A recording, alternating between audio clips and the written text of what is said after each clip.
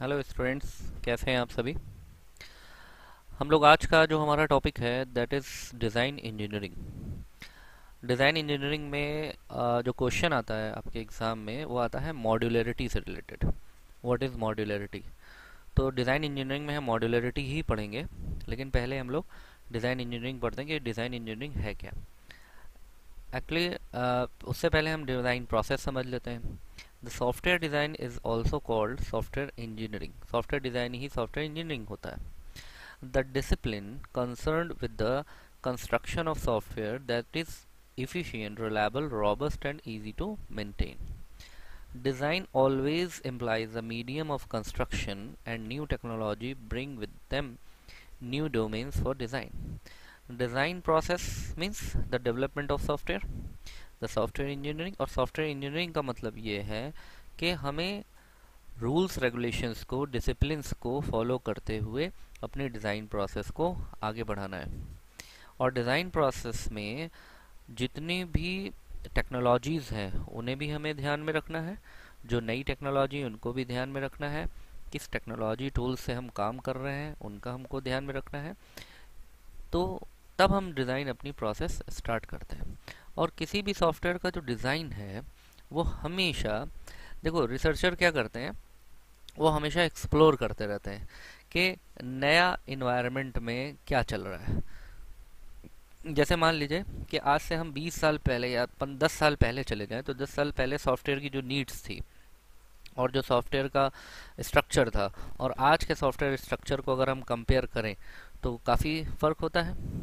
तो इसका मतलब ये है कि जो सॉफ्टवेयर इंजीनियर्स हैं ये हमेशा नया एक्सप्लोर करते रहते हैं कि आगे की टेक्नोलॉजीज़ कैसी होंगी उन टेक्नोलॉजीज़ के लिए डिज़ाइंस कैसे पॉसिबल हो सकते हैं किस तरह के हम डिज़ाइन एकोमोलेट कर सकते हैं कैसे डिज़ाइंस नए कॉम्बिनेशन से नई डिवाइसेस से आ, हमारे सॉफ्टवेयर नई डिवाइसेस को कैसे कंपैटिबल होंगे ठीक है? तो ये सारी चीज़ें सॉफ्टवेयर डिज़ाइन में होती हैं। तो नई टेक्नोलॉजी का भी ध्यान रखना है, ओल्ड टेक्नोलॉजी का भी ध्यान रखना है। कभी भी हम सॉफ्टवेयर का डिज़ाइन अपने ओल्ड टेक्नोलॉजी बेस्ड नहीं होगा। अदरवाइज़ जैसे ही हमारा सॉफ्टवेयर किसी भी नए या हार्डवेयर कंपनी कोई भी हार्डवेयर अपडेट करती है और जब उस पर वो सॉफ्टवेयर चलाएगा तो वो सॉफ्टवेयर में प्रॉब्लम आएगी। चलेगा ही नहीं या सपोर्ट नहीं करेगा तो प्रॉब्लम आ जाएगी। तो डिज़ाइन प्रोसेस एक ऐसा है कि जो कि विज़न आपको फ्यूचर विज़न रखनी पड़ेगी डिज़ाइन प्रोसेस को करने के लिए सॉफ्टवेयर डिज़ाइनिंग के लिए सॉफ्टवेयर डेवलपमेंट के लिए सॉफ्टवेयर इंजीनियरिंग के लिए, ठीक है? मॉड्यूलर डिज़ाइन मॉड्यूलर डिज़ाइन इसकी हम लोग बात कर रहे थे मॉड्यूलर डिज़ाइन की। मॉड्यूलर का मतलब होता है किसी भी बड़े पार्ट को, बड़े प्रोजेक्ट को छोटे छोटे पार्ट में तोड़ देना। जैसा कि फिगर देखिए आप दिख रहा है। फिगर में हमने लार्ज प्रोजेक्ट एक लिया। उस लार्ज प्रोजेक्ट को हमने स्प्लिट करा या उसको डिवाइड कर दिया। डिवीज़न ऑफ़ प्रोजेक्ट तो बड़े प्रोजेक्ट का जो डिवीज़न बना उन्हें हम मॉड्यूल्स कह सकते हैं। Module A module B module C like जैसे मान लीजिए कि आपको एक बिग बाज़ार का सॉफ्टवेयर बनाना है। तो बिग बाज़ार का सॉफ्टवेयर बहुत बड़ा हुआ क्योंकि वो आ, आ, क्या कहते हैं प्रोडक्ट्स को भी मैनेज करेगा और प्रोडक्ट्स में कई सारी वेराइटीज़ हैं।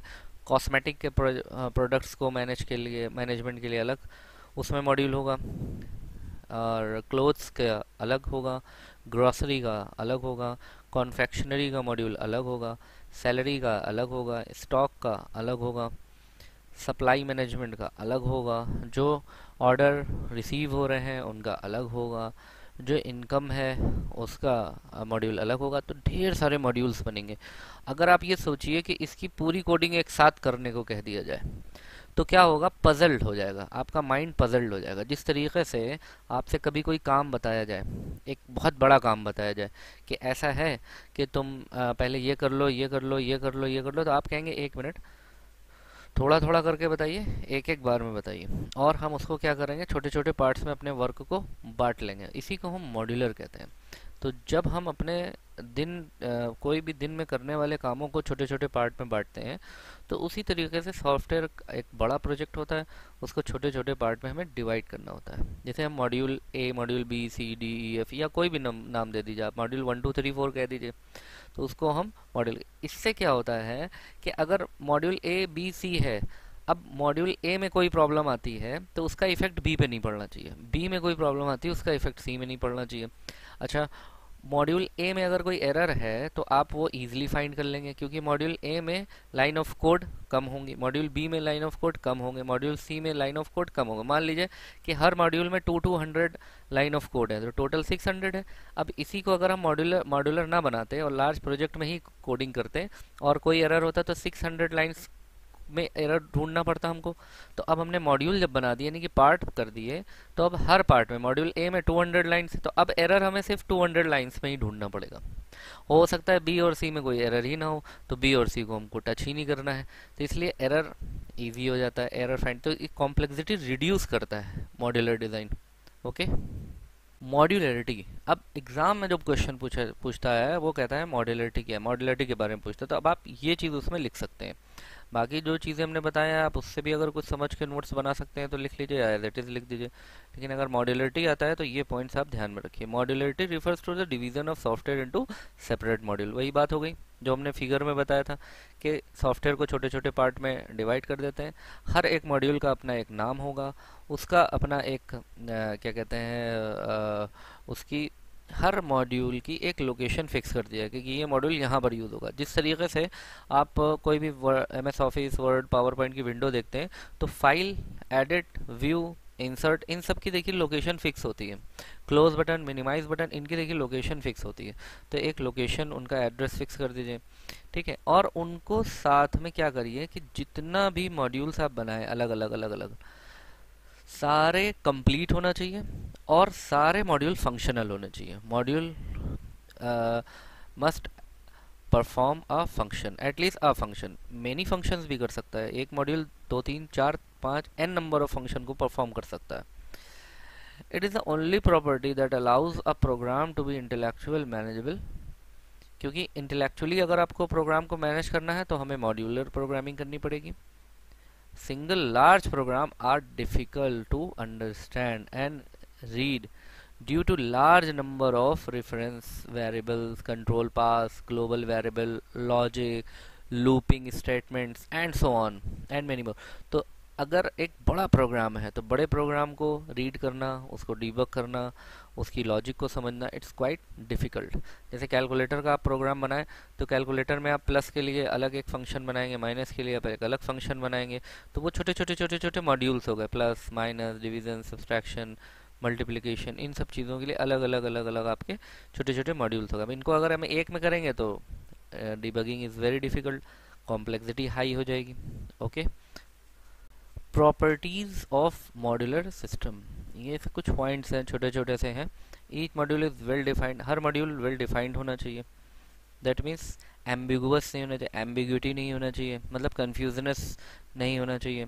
और जो भी मॉड्यूल है, किसी एक सिंगल स्पेसिफिक पर्पस के लिए बनाया जाए। जैसे मान लीजिए प्रिंट का मॉड्यूल है तो उसमें सिर्फ़ प्रिंट का ही वर्क हो। अब प्रिंट वाले में फॉन्ट की फॉर्मेटिंग ना हो। जब आप प्रिंट करते हैं तो प्रिंट वाला जो डायलॉग बॉक्स आता है, उसके अंदर देखिए प्रिंट से ही रिलेटेड सारा चीज़ें होती हैं। पेज सेटअप होता है पेज नंबरिंग होती है प्रिंटर की क्वालिटी होती है high quality low quality print को रिवर्स ऑर्डर प्रिंट करना है या फॉरवर्ड प्रिंटिंग करनी है, ठीक है? तो सारा कुछ प्रिंट से ही रिलेटेड होता है। अब ये नहीं कि उसमें आप सैलरी प्रिंट करा रहे हैं तो सैलरी प्रिंट कराने में उसमें स्टॉक की इन्फॉर्मेशन भी आ जा रही है और क्लोथ्स की इन्फॉर्मेशन भी आ जा रही है और कॉस्मेटिक की इन्फॉर्मेशन भी आ जा रही है। इसलिए each module has a single specific purpose module can be separately compiled and stored in a library उनको अलग अलग अलग अलग कंपाइल करना है और उनकी एक लाइब्रेरी बना दीजिए। लाइब्रेरी का मतलब होता है कलेक्शन आपके पास अगर सिमिलर टाइप के मॉड्यूल्स हैं तो उनका एक कलेक्शन बना दी कि ये हमारे सिमिलर टाइप के मॉड्यूल है। मतलब एक जैसा फ़ंक्शन परफॉर्म कर रहे हैं। लाइक like, कि कोई भी आपने एक सॉफ्टवेयर बना रहे हैं तो आपको फ़ाइल मेनू में जितने भी मॉड्यूल्स रखने हैं, उनकी एक लाइब्रेरी बना देगी ये फ़ाइल मेनू के हैं, ये एडिट मेनू के हैं, ये इंसर्ट के हैं, ये व्यू के हैं, ये अपडेट के हैं। जिस तरीके से हम M S Word Office Excel PowerPoint में देखते हैं ग्रुप बना देते हैं। जैसे फॉर्मेटिंग बटन एक साथ मिल जाएँगे आपको अलाइनमेंट के बटन एक साथ मिल जाएँगे आपको, ठीक है? कलर से रिलेटेड एक साथ मिल जाएँगे। तो इस तरीके से उनका ग्रुप बना दें लाइब्रेरी उसको कहते हैं। आप लाइब्रेरी वर्ड यूज़ कर सकते हैं ग्रुप भी वर्ड यूज़ कर सकते हैं। Module can use other module that means एक मॉड्यूल दूसरे मॉड्यूल को भी यूज़ कर सकता है। ठीक है? जैसे आप प्रिंट करते हैं तो प्रिंट करते हैं तो एक डायलॉग बॉक्स आता है। उस प्रिंट में डायलॉग बॉक्स जाता है तो उसमें आपने देखा होगा एडवांस सेटिंग होती है। एडवांस सेटिंग पे क्लिक करेंगे तो वो एक अदर डायलॉग बॉक्स को ओपन कर देगा। तो एक मॉड्यूल ने दूसरे मॉड्यूल को कॉल करा। That means module can communicate to each other module should be easier to use than to build वो यूज़ करने में आसान होना चाहिए, यानी कि यूज़र उसको यूज़ आसानी से करे। जैसे लैपटॉप बना तो बहुत कॉम्प्लेक्सिटी से है लेकिन क्या उतनी यूज़ करना भी उतना ही कॉम्प्लेक्सिटी यूज़ करना देखिए कितना आसान होता है। Module modules are simple simpler from outside than inside बाहर से मॉड्यूल सिंपल होने चाहिए। इनसाइड से चाहे जितनी भी कॉम्प्लेक्सिटी हो, कोई दिक्कत नहीं है। ठीक है? तो ये आपका कुछ प्रॉपर्टीज़ हैं, ध्यान में रखने वाली प्रॉपर्टीज़ हैं। Okay effective design method to develop a modular system जब आप मॉड्यूलर डिज़ाइनिंग कर रहे हो, यानी कि सॉफ्टवेयर को मॉड्यूल में पार्ट कर दिया डिवाइड कर दिया, अब ध्यान रखिए क्या करना है? Modular decomposability that means the overall complexity of the program will get reduced if the design provide a systematic mechanism to decompose the problem into sub problems यानी कि decomposability जो है वो बहुत proper होनी चाहिए जैसे मान लीजिए सैलरी है सैलरी को हम किस चीज़ में डिवाइड कर सकते हैं सैलरी को हम basic salary T A D H R A इसमें डिवाइड कर सकते हैं, ठीक है? जैसे स्टूडेंट है अब स्टूडेंट मान लीजिए कोई एक मॉड्यूलर स्टूडेंट स्टूडेंट को किसमें डिवाइड कर सकते हैं? Science students arts student commerce student या मान लीजिए कि बी के स्टूडेंट है तो बीसीए कोर्स है तो बीसीए को हम किसमें डिवाइड कर सकते हैं? First year second year third year first year को फ़र्स्ट सेम सेकेंड सेम ठीक है? फ़र्स्ट सेम में subject one subject two subject three subject four समझ गए? मतलब रिलेशन होना चाहिए सिस्टमेटिक डिकम्पोजिशन होना। डिकम्पोज मतलब होता है तोड़ना डिवाइड करना।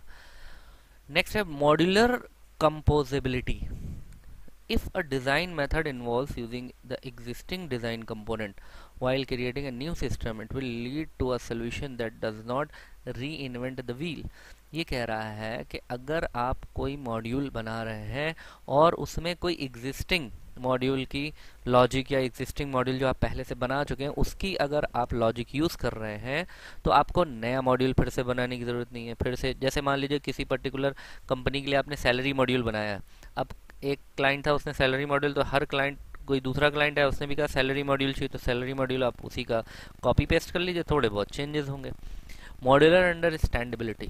If a module can be understood as a separate standalone unit without referring to other modules, it will be easier to build and edit.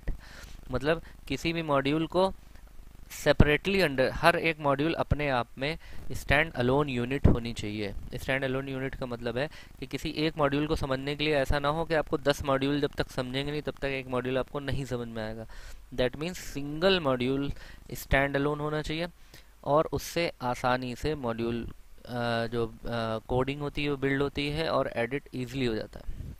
Next point है modular continuity that means अगर आप किसी एक module में change कर रहे हैं तो उसका इफ़ेक्ट दूसरे मॉड्यूल में नहीं होना चाहिए। या एक में चेंज करा तो बाकी सभी में अपने आप चेंजेस ना हो जाए। यानी कि कैस्केडिंग नहीं होनी चाहिए। कैस्केडिंग का मतलब होता है जैसे कि एक में कोई इफ़ेक्ट आपने डाला तो दूसरे, तीसरे, चौथे, पाँचवें अपने आप इफ़ेक्ट होता चला गया। ऐसा ना हो। जिसमें आप चेंज करें, उसी में चेंज हो। Modular production if an unusual events occur affecting a module and it does not affect other module, ठीक है? The impact of error included side effect will be minimized. That means कि क्या होना चाहिए? कि ऐसा होना चाहिए कि एक मॉड्यूल दूसरे मॉड्यूल को अफेक्ट ना करे, नुकसान ना पहुँचाए। नुकसान का मतलब होता है, जैसे किसी एक मॉड्यूल को आपने डिलीट करा तो उसके दूसरे मॉड्यूल उससे अटैच जितने भी मॉड्यूल हैं वो सब डिलीट ना हो जाए। नहीं तो आपको फिर से सारे मॉड्यूल्स बनाने पड़ेंगे। तो ये है। Simple effective. These are some effective design method to develop a modular system. Design quality ये पॉइंट्स आप समझने के लिए समझ सकते हैं। बाकी अगर आपको इसको मॉडलिटी अगर पूछता है तो उसमें लिखने की ज़रूरत नहीं है। ये आप अपने समझ के लिए रखिए।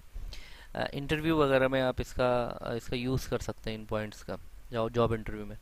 Software design principle present a set of guidelines that helps us to avoid having a bad design bad designing कैसे आप अवॉइड कर सकते हैं? मतलब आपका जो मॉड्यूल्स हैं, जो मॉड्यूलर जो आप प्रोग्राम बना रहे हैं, वो बैड डिज़ाइनिंग से कैसे बच सकते हैं?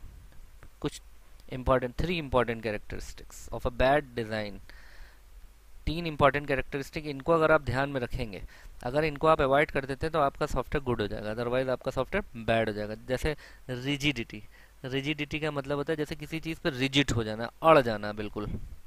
It is hard to change because every change affect too many other parts of the system. मतलब कि अगर मकान में कोई चेंजेस कर रहे हैं, मान लीजिए एक दीवार में खिड़की निकालना है, मकान बना लिया, एक खिड़की बनाने के लिए आप खिड़की बनाना भूल गए थे। अब आप खिड़की बनाने के लिए दीवार को तोड़ रहे हैं।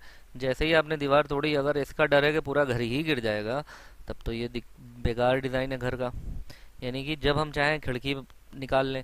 जब हम चाहें दरवाज़ा निकाल जब हम चाहें दरवाजे को बंद कर दें, दूसरी तरफ़ दरवाज़ा निकाल लें, ऐसा होता है ना पॉसिबल तो घर ऐसे ही बनते हैं कि भाई, ऐसे, ऐसी जगह से अगर हमें कोई चेंजेस करना है तो दैट मीन्स अगर हम सॉफ्टवेयर में कहीं कोई चेंज कर रहे हैं तो ऐसा ना हो कि एक जगह चेंज करा तो सारे सॉफ्टवेयर को में चेंजेस करना पड़े। ये नहीं होना चाहिए। ये बैड सॉफ्टवेयर माना जाता है। Bad software design fragility fragility means होता है, इसमें देखिए मीनिंग भी हमने लिख दी है। Easily broken that means when you make a change unexpected part of the system break आपने किसी चीज़ में कोई चेंज करा, अब उसका इफ़ेक्ट एक ऐसी जगह पड़ गया जहाँ से सिस्टम ब्रेक कर गया। अब आपको ये नहीं समझ में आ रहा है कि ये ये हमने चेंज तो उस मॉड्यूल में करा था, फलाना मॉड्यूल काम करना क्यों बंद कर दिया? ठीक है? तो इस तरह से नहीं होना चाहिए। ये नहीं होने चाहिए ये पॉइंट ये होने नहीं, ये नहीं होने चाहिए। ठीक है? फ्रेजिलिटी दैट मीन्स कि एक पॉइंट पे आपने कोई चेंजेस करे और उसका इफ़ेक्ट किसी ऐसी जगह हो गया कि जो आपने सोचा भी नहीं था कि यहाँ पर इसका इफ़ेक्ट हो जाएगा। ठीक है ना? इमोबिलिटी इमोबिलिटी का मतलब होता है कि सॉफ्टवेयर आपने it is hard to reuse in another application जैसे मान लीजिए कि आपने सॉफ्टवेयर बनाया ऑपरेटिंग सिस्टम विंडोज़ 2007 पे काम कर रहा है, उस पर आपने इंस्टॉल कर दिया। अब अगर आपने 8 पे इंस्टॉल करा तो 8 पे हो ही नहीं रहा। ठीक है? विंडोज़ मान लीजिए 2005 पे आपने करा। 2005 पे वो इंस्टॉल नहीं हो रहा है। यानी कि आप अपना सॉफ्टवेयर किसी अदर प्लेटफॉर्म पे ले ही नहीं जा सकते। इमोबिलिटी का मतलब होता है नॉट मूविंग यानी अब आपका सॉफ्टवेयर मूव करने लायक नहीं है। तो ये जो तीन पॉइंट्स हैं, इनका बहुत ज़रूरी है ध्यान रखना। अगर ये तीनों पॉइंट आपके सॉफ्टवेयर में नहीं है सॉफ्टवेयर डिज़ाइन में तो आपका सॉफ्टवेयर अच्छा है। अदरवाइज़ बैड डिज़ाइनिंग है। ओके तो that's all about the modularity. That's it thank you and be safe.